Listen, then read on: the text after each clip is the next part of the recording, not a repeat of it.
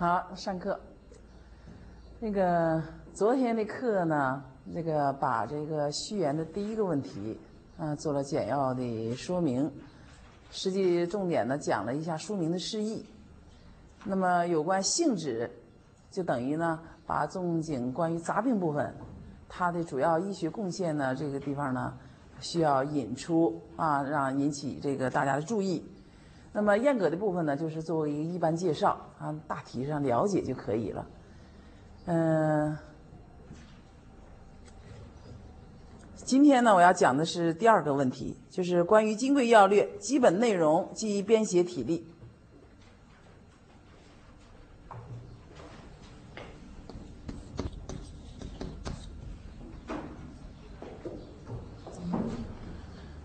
这个问呃这个问题呢，我也是作为这个一般性的介绍啊，因为时间的关系呢，就是举例是有限的。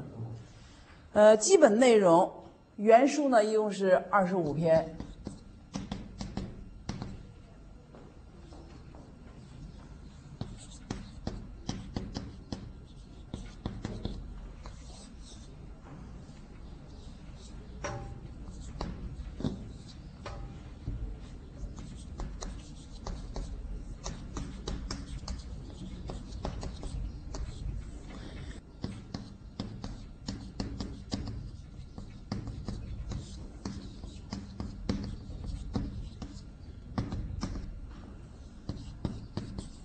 第一篇是总论，相当于全书的啊，有具有概论性质。第二篇到第十七篇呢是辨知内科杂病，十八篇辨知外科杂病，十九篇呢是一些呢不便于归类的杂病，也可以说杂病篇里的啊这个杂病。二十到二十二篇是有关妇产科的杂病辨知，二十三到二十五篇杂疗方与食物禁忌。重点的话呢，我们放在呢。呃，二十二篇以前，啊，在这个全书里面呢，如果是二十五篇的话呢，是二百六十二方；如果前二十二篇，二十二篇以上是吧，就是二百零五方。在以前的讲义上，包括我们现在通用的这个呃五版讲义，它也是说呢，有四首方剂。仅见方名而没有载药，是吧？没有药是四首，实际上呢，我认为呢是五首。这样是呢，去掉这个有方名而没有药载的这个呢，就剩了二百个方。下面呢，请大家打开书看这五首方剂啊是哪几个方？就是在这个这本书啊方剂索引的最后一页，二百七十二页。请大家看七华里，杏子汤啊，这是十四篇风水里面的一个方子，叫杏子汤。就说杏子汤什么组成不知道啊？看见了吗？在一百七十一页的那个杏子汤，就带括弧的，你就一下就见到了。再往下来，最后一个就是七华里最后一个二百三十页的附子汤，又是方为健其药。这个呢是《妇人妊娠篇》里的，是吧？治疗这个阳虚寒盛腹痛。这是两首方剂。第三首呢，我要向大家说明，就是第十华里的第一个方子，焦姜汤。这个在讲解的时候呢，有的时候呢就说阿胶和泡姜，这个呢实际上是一个呃妇科病的啊，治疗下血的。那么有的认为呢，既既然下血不能用泡姜。啊，还有的认为呢，就应该是呢，张仲景自己的这个焦艾四物汤，它原名呢叫做胸归焦艾汤，焦艾四物汤。这样呢推论不等于就是这个方剂的真正组成，所以这块呢应该加进来。我说的不同意是四方，就是我说呢焦姜汤也属于这个范围。这是第三首了。第四首呢是在十一环里面，大家看这靠边的这一行是吧？二百二十二页看见了吗？黄连粉，这是呢这是治疗外科的起人疮外用药，黄连粉。最后一个方子是十九篇里的二百二十三页，就是这十三花以上的，叫做藜芦甘草汤。这五手方剂，实际上呢，在这个仲景的这个金匮的这个方剂里面呢，重复出现的，就是和《伤寒论》重复运用的有三十七方，是不是啊？咱们如果再减去三十七个与《伤寒论》重复的。还需要减掉一个什么方呢？就是我说昨天他在编次过程中，服方一共有二十三首，因此这个数字我要告诉大家，就是在《金匮要略》里面，我们第一次要出现见到的是一实际是一百四十万，就是说呢，《金匮》里面实有一百四十万，这是说二十二篇不不包括杂疗方。啊，不包括呢，就是呃那个二十三到二十五篇的那杂疗方，是说二十二篇里头，他只是在这个林毅的那个序里面告诉了你了，二十五篇内容里头有二百六二二百六十二方。现在我告诉你的就是我们要讲的这个二十二篇主要内容里啊涉及这些。那么关于用药的问题，用药的问题呢，应该说呢是一共呢是一百六十六位。这个呢，在那个所翻阅到的资料统计数字呢不完全一致，但是我今天要讲给大家的是我按照呢非常规范的统计数字统计出来的啊。那么这个呢，就是说，呃，怎么算出来的呢？就是伤寒和金匮啊共用的药物是六十八味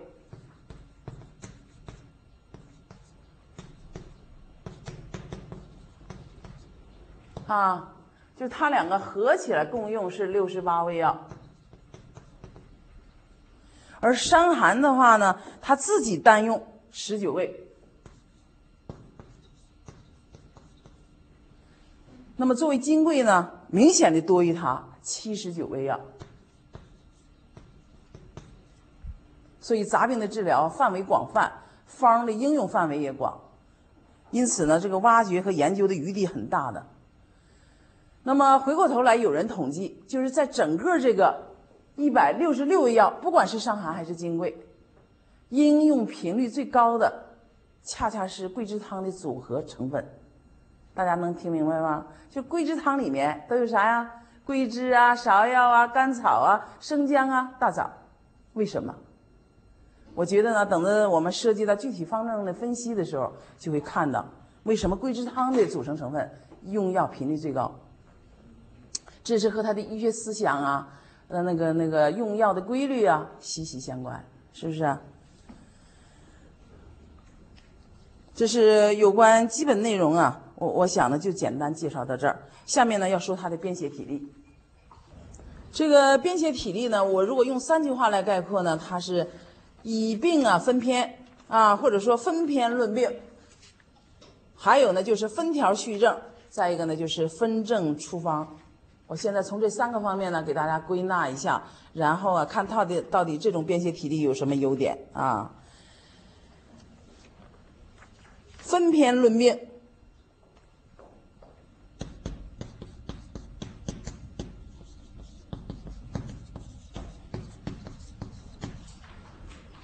如果二十二篇里面，他所论述的疾病大约是四十多种啊，四十多种，那么。也就是说呢，在这个分篇论病里面呢，它有两种形式，一种呢是合篇，啊合篇来论述，也就是说呢，它是数病合为一篇的；还有呢就是专篇论述，独立的一个疾病在一起。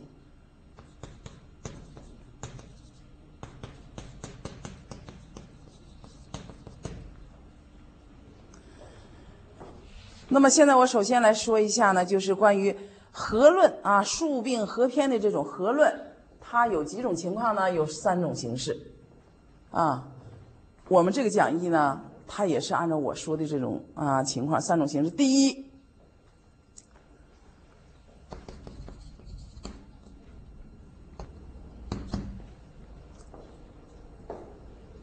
第一种情况是病机相同，或者说呢病机相仿，症候相似，或者呢病位相近。有的病机不完全相同，相仿也可以，啊，就是这个病机相同或相仿，症候相似，或者呢病位相近，啊，这是一个依据，把它合篇论述。你比方说第七篇讲肺痿、肺痈、咳嗽上气，大家想，它共同的病位应该是在哪儿啊？在肺，病位相同。是不是啊？这根本就不是相仿了，就是病机这个病位相同，也不是相近，都在肺，是主，呃，主要呢来论述肺系的疾病。那么显而易见，这三种病包括咳嗽上气里的肺胀，同样的症状是什么呢？这现在不是说症候相同了、相似了，而是症状相同，都有咳嗽、痰或者甚至喘、咳痰喘，症状相似。当然了，在这个方药上也有呢互用的啊情况，那么这个呢就是它合起来论述的呃理由。第二类就是我刚才在分篇里面说到的，就是呢不便于归纳的杂病。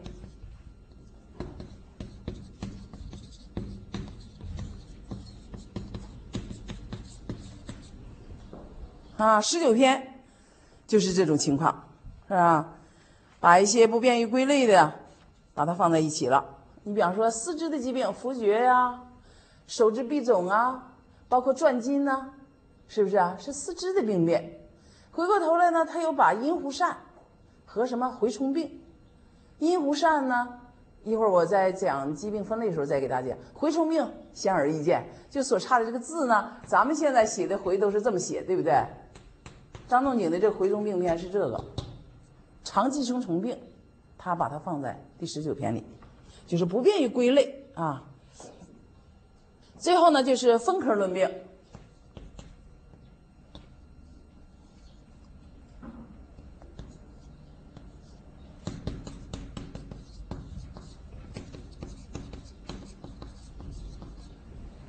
刚才讲的二十到二十二篇妇产科的疾病，是不是啊？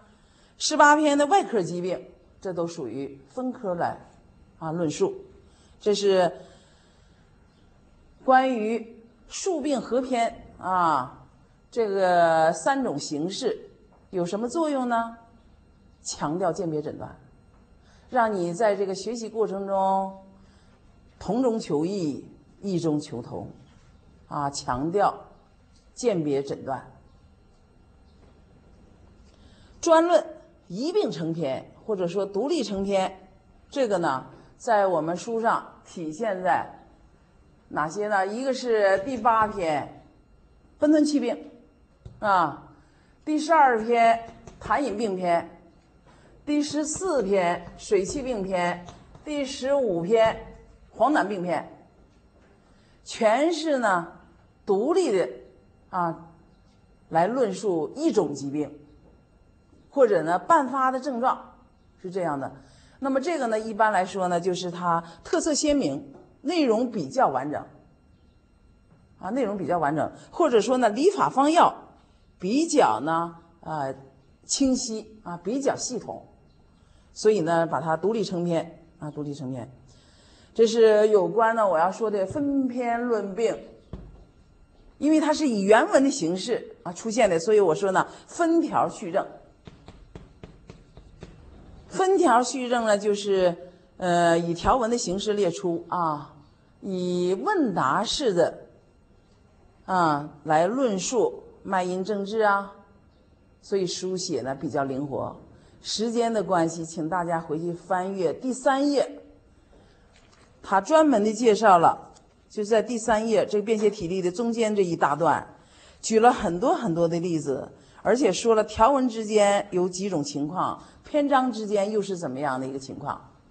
啊，这个呢就大家自学了，不占用课堂时间。第三呢就是分证处方。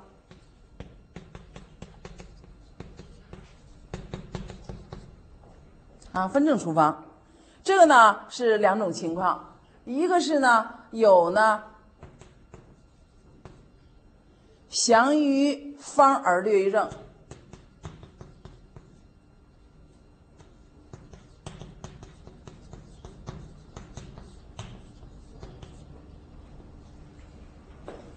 就是呢，在条文的叙述上，把这个方说出来了，但是症呢，就用一个症状啦，或者是一个主症呢来代表。那么这个地方呢，需要呢，在辨病就是变成失智的过程中呢，需要完善这个症候应该所见的临床症状，是不是啊？这个呢，就是在采取在学习过程中得以什么呀？以方测证。包括以药测证，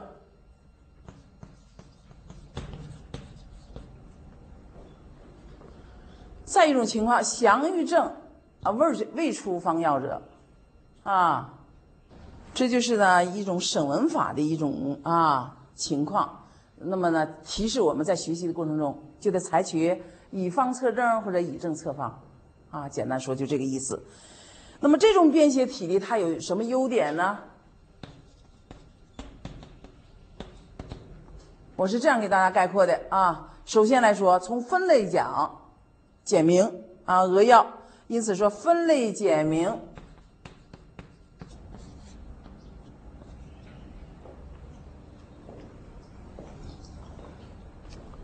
这个我基本上是按照这个林毅等人那个序啊，把它归纳概括出来的。第一呢，从分类上来讲，是吧？简明扼要嘛，辩证呢切要，啊。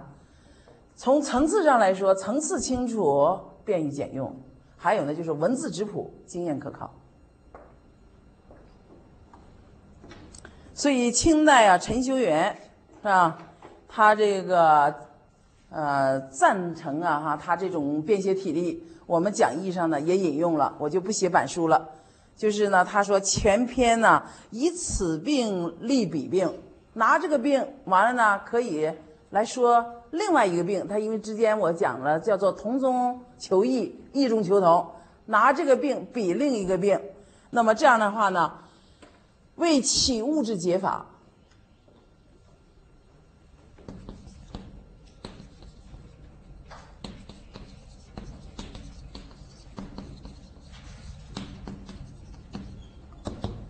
就是启发你啊，那么来抓住啊。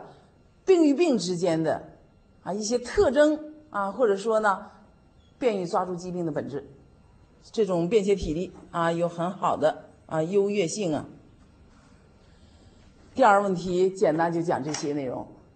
第三个问题也是我在序言里面要着重啊给大家分析的一个问题，就是有关本书的主要学术成就及贡献。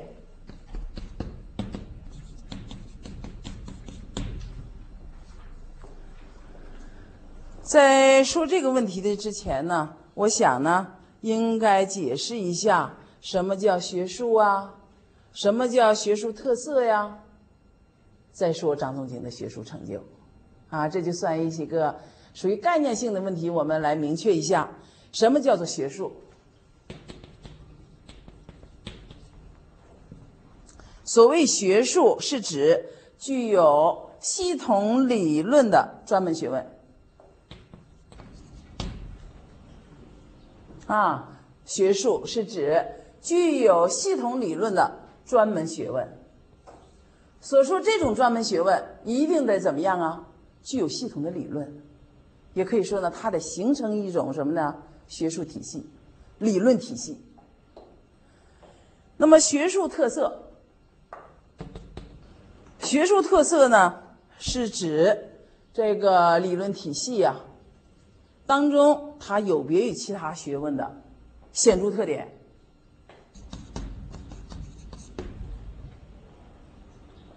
啊，学术特色，它一定是要指这样具备系统理论的这个专门学问，它形成了它自己的理论体系，对不对？那么在这一理论体系当中，要有别于其他学问的显著特点。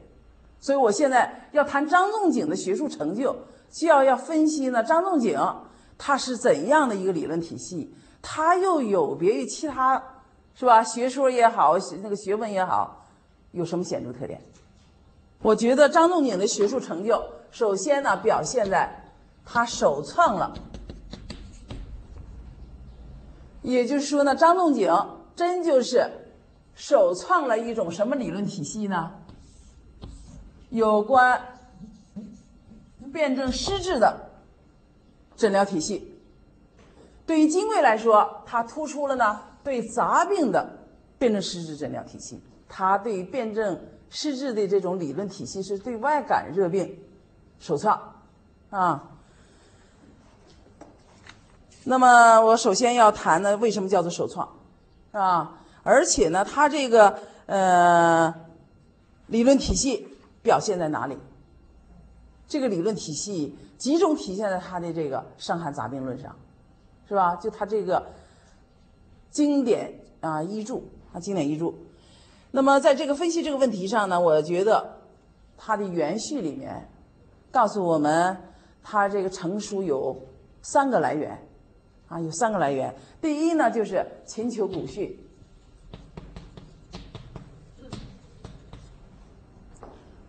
选用《素问》九卷八十一难，是不是啊？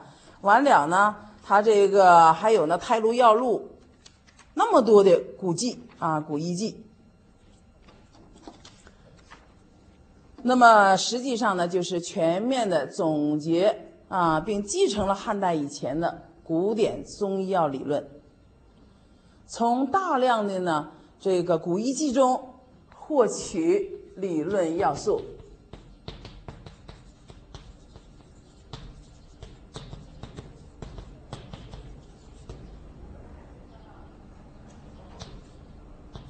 这也是教给我们的学习方法，是吧？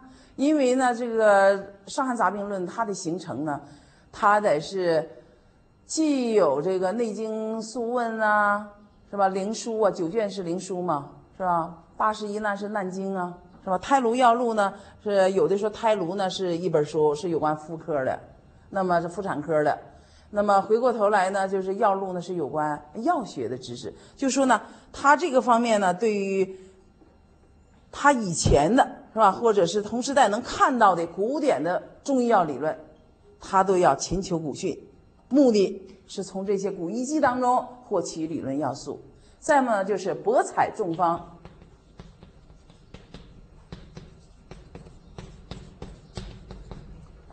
啊，博采众方，就是广泛的来汲取汉代及其以前的医疗经验和有效方药。啊，不是他独创，而是他呢继承前人的经验，又有自己的呢学习的体会呀和临床经验的总结在里面。所以这个呢，他首先得是广泛汲取。比方说范兴准先生是吧？他的研究结果指出呢，就是金匮的内容是《汉书·艺文志》是一家经方的索引，这就证明了他的那个真实博学，啊，广泛的来这个。像前人的经验呢，包括自己的经验，经验呢就直接的和间接的都体现在啊他的这本著作里了。所以呢，他能够把博览群书的所得，关键是怎么样啊？上升为医学理论。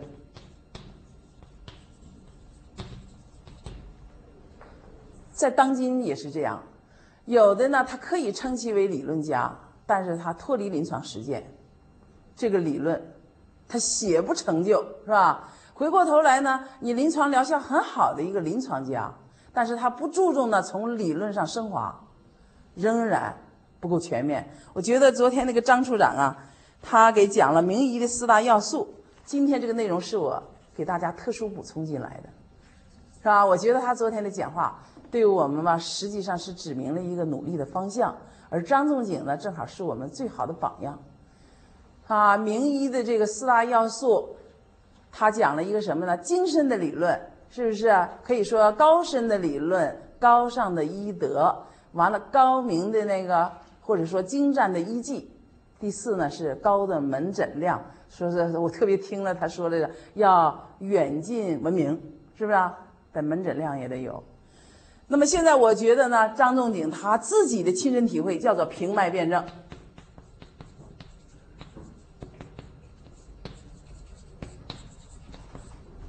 什么叫平脉辨证？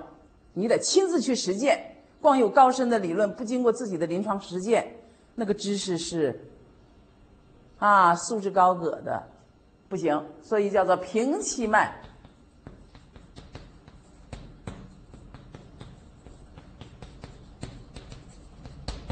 辨其症，这里面是张仲景啊，这本书体现了他通过四诊合参的诊断方式，是吧？依靠获得的医学真知，系统的总结了仲景本人长期的临床实践经验，是吧？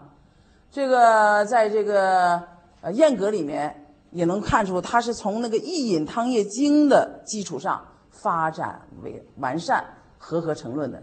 所以这十六卷的《伤寒杂病论》呢，不是平白无故，也不是抄来的，也不是啊这个这个这个别人的，完全有他自己的临床经验啊，平气脉辨证症总结。所以在这里面我们能看到，他秦丘古信呢，突出一个“秦”字。而且呢，在他的原序里面说的，你光看书啊，有的人是书虫子，见着书就买，完了呢，有书就看，就是浏览，啥也不思考。但是张仲景给你体会的，在勤求古今当中，一样一定要思求精致。阅读了那么多古遗迹，一定要思考，是吧？思求精致，深切领会它的精神实质，变成你自己的东西，消化了，是吧？博采众方突出的是博，得精究方术。光采来这个方，仍然是人家的，不是你自己的，死记硬背不好用，所以要精益求精啊。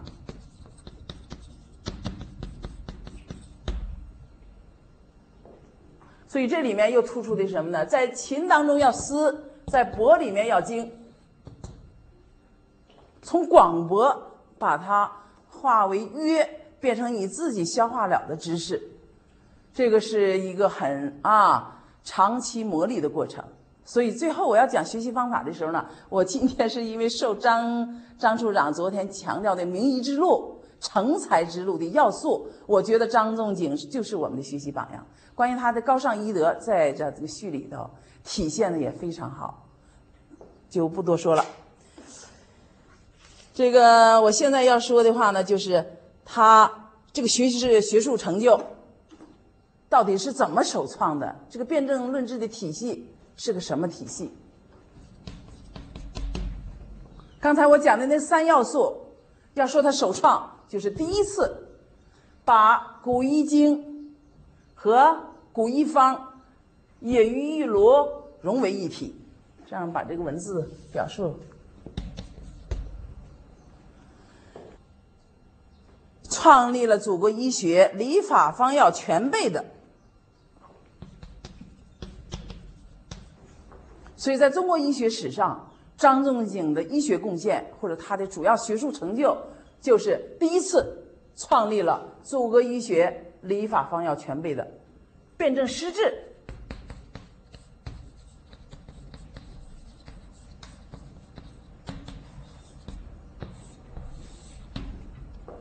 不光是理法方药全备，这个理论体系叫做辨证施治的理论体系。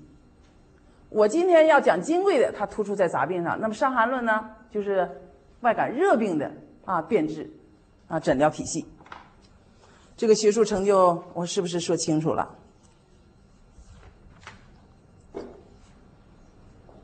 说他首创，就是他第一次，这在医学史上他的成就也好，贡献也好，就体现在。这个辨证施治的理论体系或者诊疗体系的创制啊创立，我说它这个呢，就是这个作用，实际上它有划时代的意义啊，划时代的意义。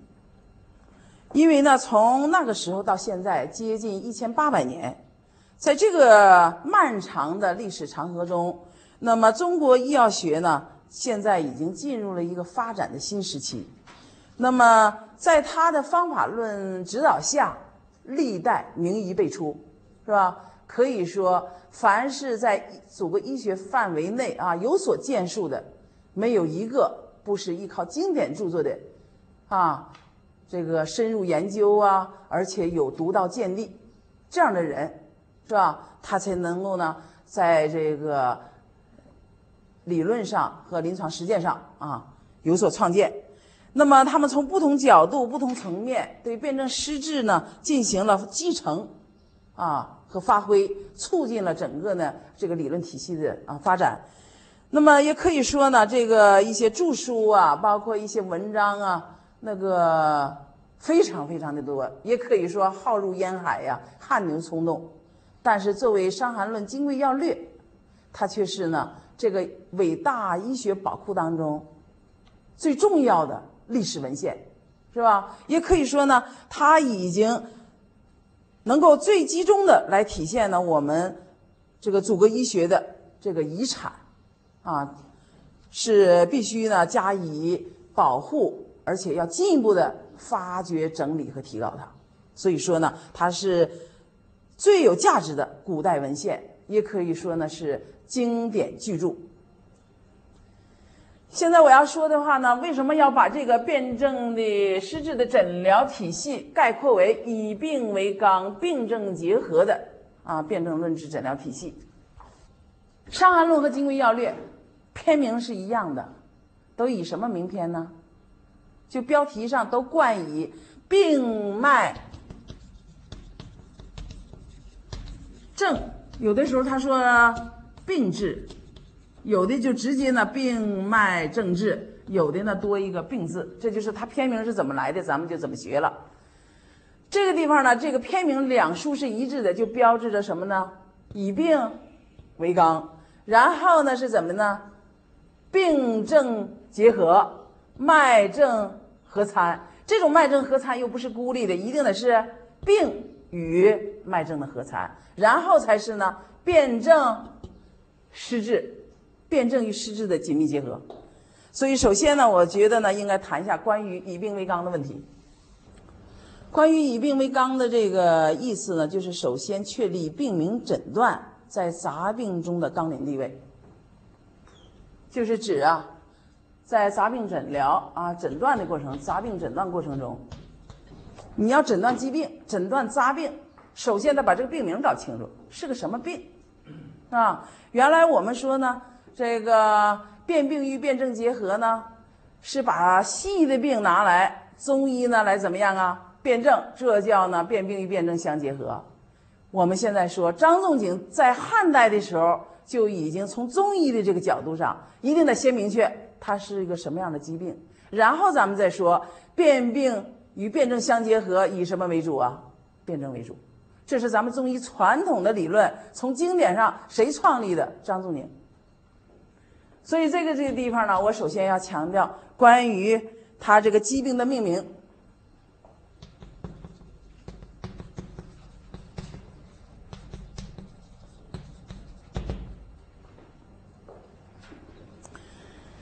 简单举例子说，有六种情况，啊，就是在张仲景的这个杂病里面呢，有的呢是以病因命名。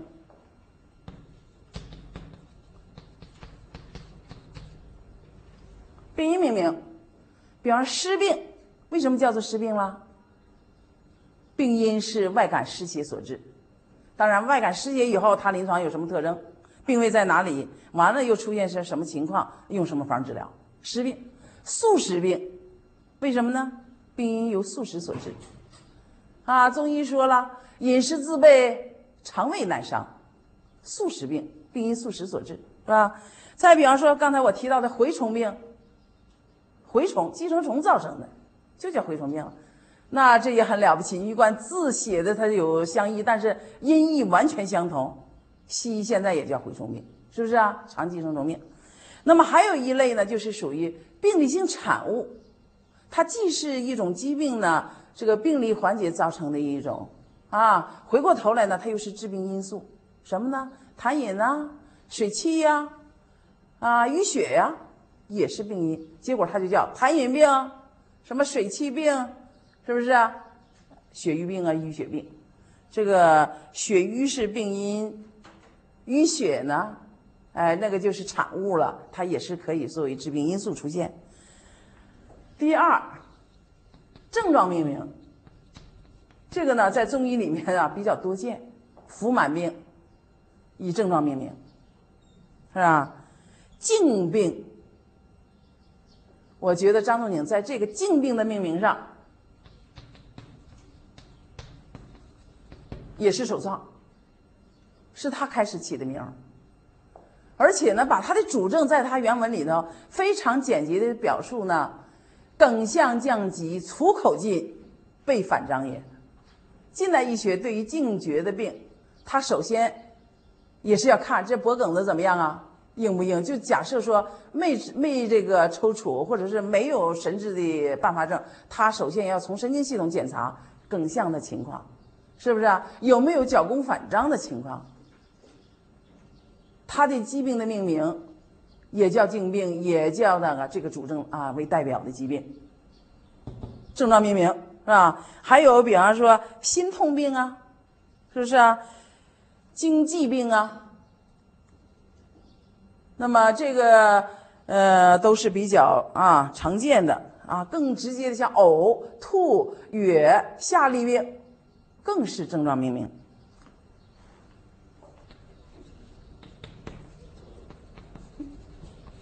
病机，啊，以病机命名。这个呢，就是，比方说肺痿病，这是中医内科已经讲过的疾病。肺痿病指的是什么呢？肺气痿弱啊，这样的一个病机，叫做肺痿。肺气胀满呢，所导致的呢，就叫肺胀病。所以这是病机命名啊。虚劳病，你们说它是病机呀，还是病因呢？病机，为什么呢？慢性虚损衰弱性疾病，是吧？这个因此呢，它劳伤所致，而且久虚不复，使呢更虚，啊，就这样的。所以这个虚劳病也是病机命名。还有一类，就是呢病机加病位，也就是说病机和病位的结合命名。比方说血闭呀。胸痹呀，这都是咱们这个金匮里面特有的这个疾病命名啊。肝浊呀，肾浊，能看见。病位的话，在血分，在胸膈，是吧？在肝，在肾。这个具体的完了，我们在讲这个病的时候再解释。这是病位，具体的病位，痹者痹也，讲的是病机。浊是指邪气流浊不去，这就是病位，病机与病位结合命名，啊。还有一类呢，就是疾病特征。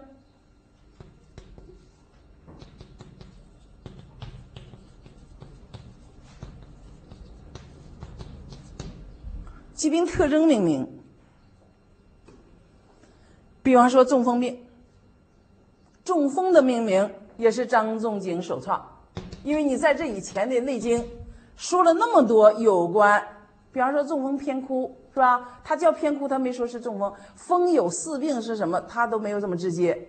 张仲景明确的就说，中风怎么起的名呢？就是他的发病的突然性，是不是啊？急骤啊？像他讲的风邪的特征叫做什么呀？善行而说变。再一个呢，就是自然界的暴风，它有呢摧枯拉朽之势，是吧？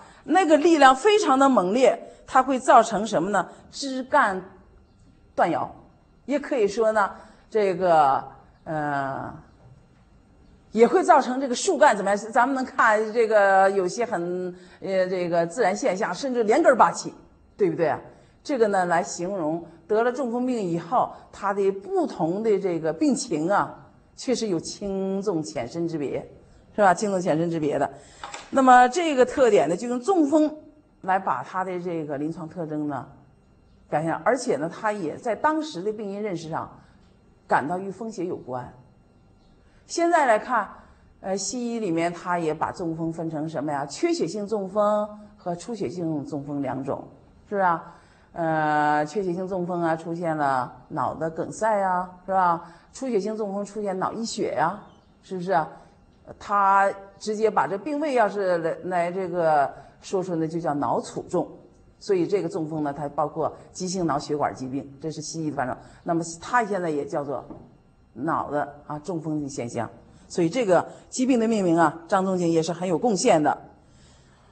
呃，还有呢，就是痢疾病的命名也是很有啊特殊意义的，因为在讲这个病的之之前呢，我先用病名的这个范围给大家啊一个印象，什么叫痢疾病？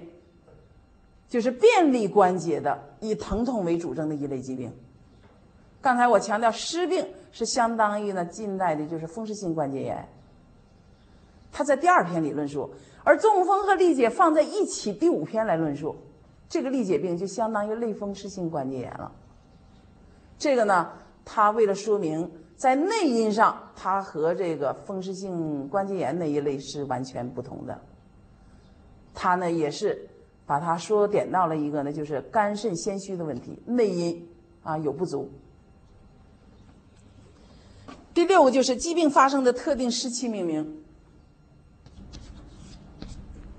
这个字叫噎病，在内科里面，静湿噎病。耶病呢，它有严格的季节性，就一定得是什么呀？夏季啊，伤及暑热之邪，但是它属于伤暑而不是中暑，叫做耶病。啊，再有呢，特殊时期呢，就是妇科病、妊娠期病，这要是正音应该妊娠病，夫人妊娠病，夫人产后病有严格的特殊时期，是吧？发生特定时期，就时间关系不举例了。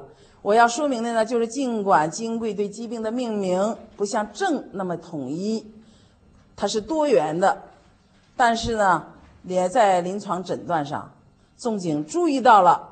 病和症毕竟是两个不同的概念，啊，两个不同的概念，因此他一定要强调以辨病为前提，啊，以辨病为前提才能确定什么呢？辨证的范围。就尽管咱中医这个病名嘛，现在有的时候临床上大概有的还不常用，或者说起来人西医还莫名其妙，但是作为我们中医的这个学者、研究者，或者是呢后来的。这个后学者、学生们也必须得掌握这个。你得先说中医讲的是什么，然后才知道呢，在多大的一个辨病范围里再进行怎么样啊？分证、辨证啊，实质。现在休息一下。